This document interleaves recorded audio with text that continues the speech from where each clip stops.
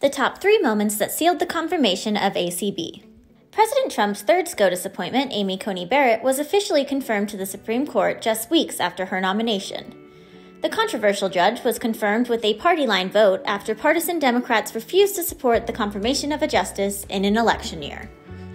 Though the confirmation was practically inevitable given the Republican majority in the Senate, here are the top three moments that really sealed the deal for Justice Barrett.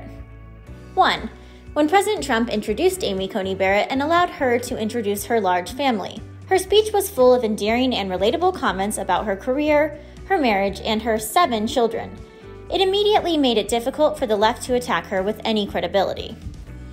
2. When Slate ran this ridiculous headline that called Barrett a shameless careerist who believes nobody can stop her. A liberal publication knocking a woman for ambition really helped fuel every conservative woman there ever was to put some pressure on the Senate to confirm.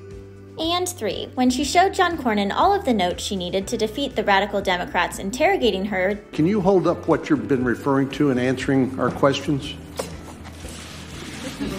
Is there anything on it? Uh, that letterhead that says United States Senate. Never Trump Group releases the most hilarious political ad ever made on accident. The Never Trump elites at the Lincoln Project have really outdone themselves. They released a one minute ad on Twitter on Monday night that was intended to be totally serious, warning about a third term for President Trump if he is reelected next week. It features a woman telling her son who won the presidential election, and, well, it's the most accidentally hilarious thing you've ever seen. Some conservatives on Twitter are even saying it makes them support Trump more. Watch for yourself.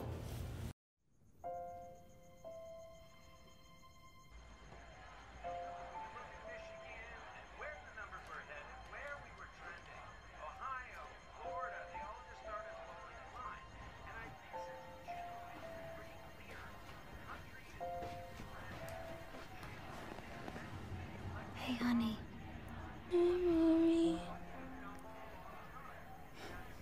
You asked me to wake you and tell you what happened in the election. Who won? Trump. Trump won. But I thought you could only be president two times. Not anymore.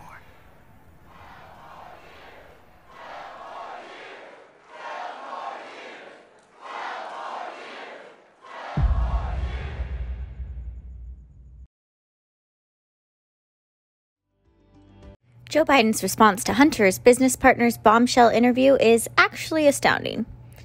This week, Fox News favorite Tucker Carlson interviewed former Hunter Biden business partner Tony Bobulinski about all of his business dealings with Hunter and Joe Biden. And it was a bombshell. Bobulinski told Tucker about how Joe Biden personally benefited from a stake in a Chinese business deal. He revealed how the Bidens wine and dined him to secure his help for the deal. He also detailed personal conversations with James Biden, the former VP's brother, about how they felt comfortable doing these shady business deals because, quote, plausible deniability. The revealing interview is making the rounds on the internet and further outraging those who were suspicious of the Biden family who made millions while Joe served as vice president. The Biden team has yet to respond to the interview. The silence is deafening.